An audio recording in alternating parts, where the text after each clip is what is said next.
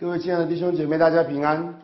我们在今天的经文里面，我要求神来帮助你，也帮助我，让我们一同在神的话语当中经历得胜，也让我们在常常默想神的话语里面，经历到昼夜思想的丰富，尽都顺利，凡事亨通，让他的话藏在你的心中，你就会带来一个不一样的人生。我们今天要继续来研读上帝的话。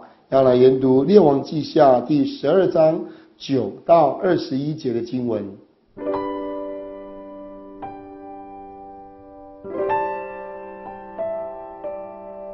列王记下》十二章九到二十一节，祭司耶和耶大取了一个柜子，在柜盖上钻了一个窟窿。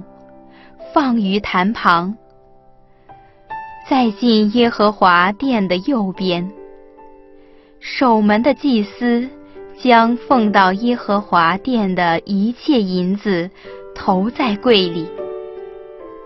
他们见柜里的银子多了，便叫王的书记和大祭司上来，将耶和华殿里的银子。数算包起来，把所凭的银子交给督工的，就是耶和华殿里办事的人。他们把银子转交修理耶和华殿的木匠和工人，并瓦匠、石匠，又买木料和凿成的石头。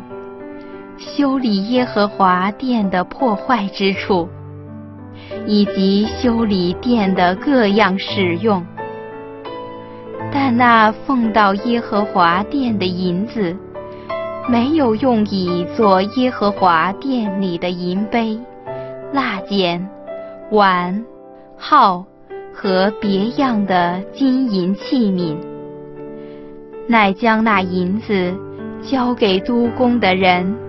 修理耶和华的殿，且将银子交给办事的人，转交做工的人，不与他们算账，因为他们办事诚实。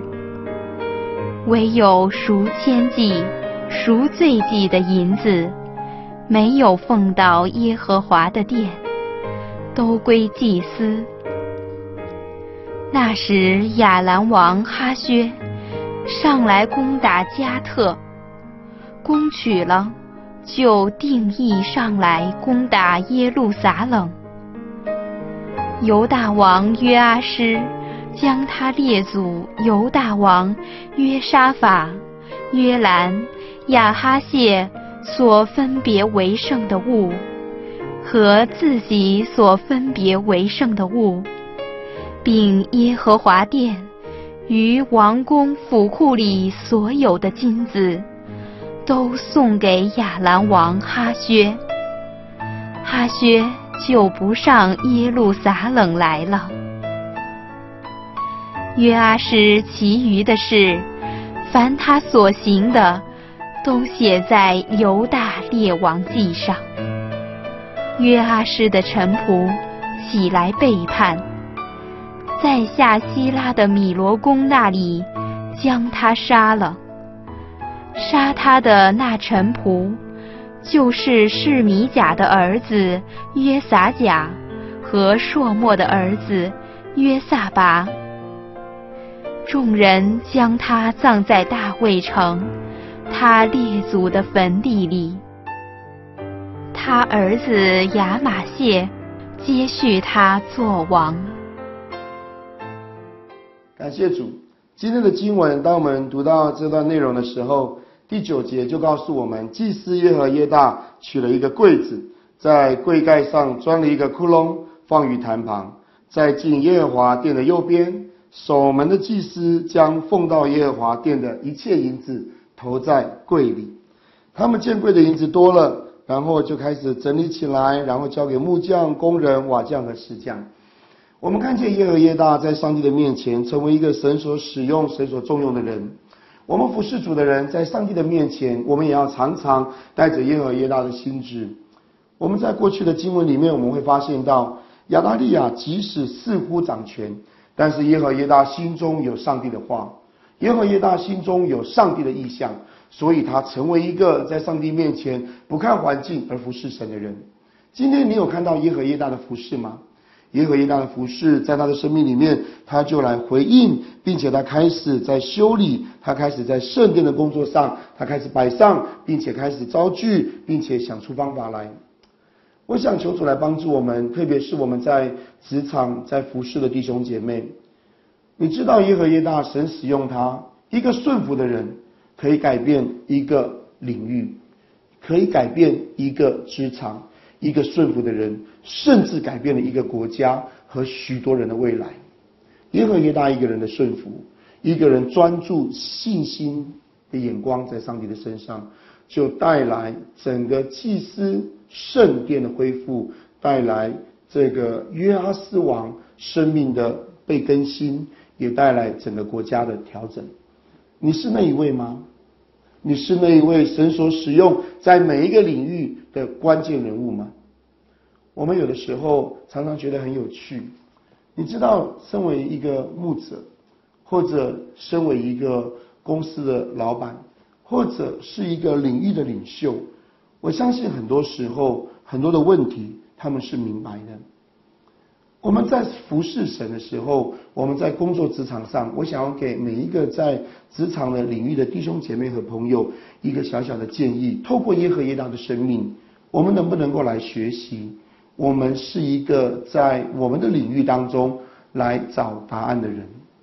其实，如果你仔细去想，大部分不管是在教会，或者在你的公司，或者你的学校，或者在你的职场里面，任何一个领域里。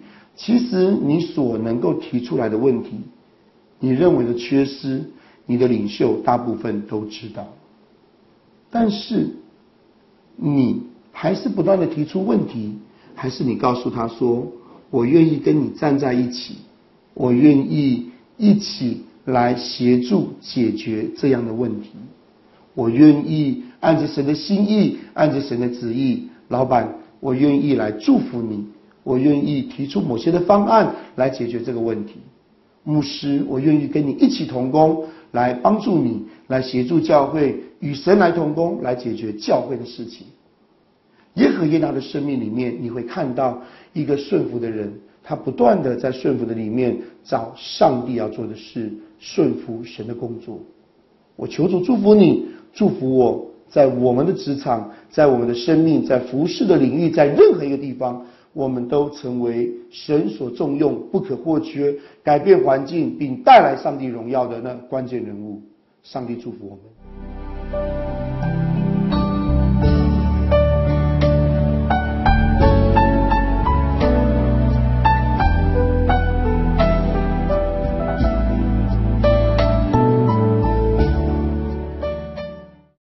感谢主，我们认识耶和耶大的生命。我们也来学习，也来认识约阿斯。圣经告诉我们，约阿斯的一生里面，当耶和耶大在他的人生当中仍然做他的属灵导师的时候，他是何等的来敬畏，并且行耶和华眼中看为正的事。很可惜的是，当耶和耶大死后，我们认识了约阿斯王，却离弃了神的话，去敬拜、侍奉亚瑟拉木偶和偶像。我们心中感到十分的难过，但是，亲爱的弟兄姐妹，我们透过约阿斯生命中最后的部分，我们也要一起来思想我们的人生。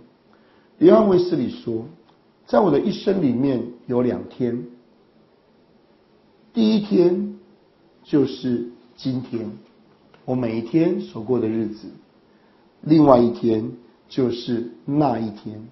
虽然人生里面有两日。就是这一日和那一日，而那一日就是他要交账见主面的那一天。我们能不能够持守神的话和信仰到见主面的日子？我要奉主的名祝福你，让我们都维持谦卑的生命。我有两段神的话要跟各位分享。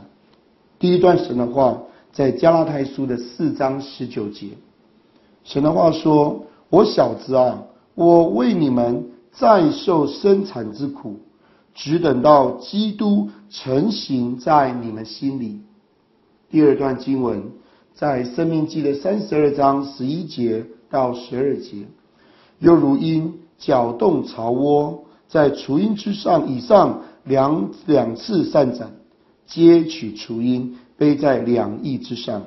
这样，耶和华独自引导他，并无外邦神与他同在。你知道，在我们的生命里面，当你看到约阿斯的生命的时候，我想求主祝福你。我们一起来学习谦卑、受教、被主来带领的生命。我们来看到加拉太书第四章十九节，他说：“我小子啊，我为你们再受生产之苦，只等到基督成型在你们里面，只等到基督成型在你们里面，只等到基督成型在你们里面。你知道吗？一个承受上帝的国度，一个要得着领受产业的人，你要让基督成型在你里面。”不要只是想要快速的成功，不要只是想要快速的取得能力。你的生命要预备好，让基督成型在你的里面。什么叫基督成型在我的里面？就是当人看到我的时候，会看到基督；当人看到我的时候，会看到基督的荣美；当人看到我的时候，会看到基督的死在我的身上；当人看到我的时候，会看到基督的全能彰显，透过我的生命来显现出来。我奉主的名祝福你。不是只有恩赐，不是只有好像你手中的某一些的才干，乃是让基督的死在你身上发动，好叫基督的生在你身上发动。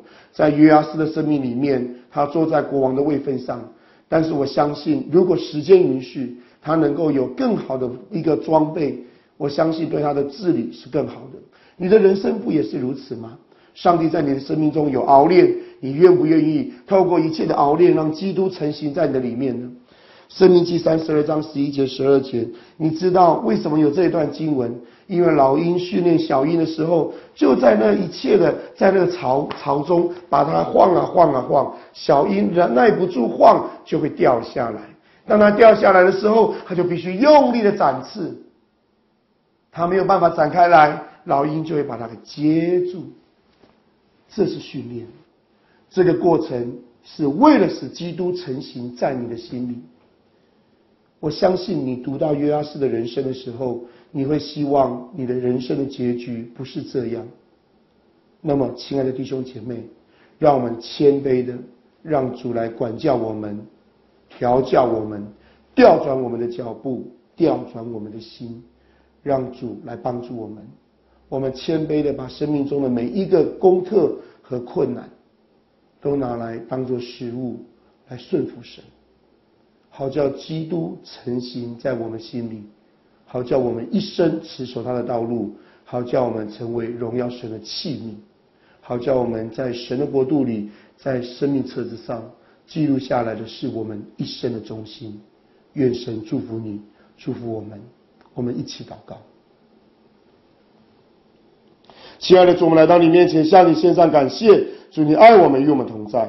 主，你是我们的力量，是我们的帮助，是我们随时的帮助，是我们随时的力量。主，我们现在来呼求你，主，你要与我们同在。主，我们愿意在你面前向你说，你来调整我们的心，让我们开始来认识，在我们生命中有许多的功课，或许非常的困难，但是让我们不再只是看到困难，让我们看到上帝的训练，让我们看到上帝在我们生命当中的调整，让我们看到上帝在我们生命中的管教。主让我们就一生成为在你手中谦卑、被管教、被教导、顺服的孩子，以至于一生荣耀上帝的圣尊名。谢谢主，你爱我们，与我们同在，让我们在你的面前靠主一生得胜。奉耶稣的名祷告，阿门。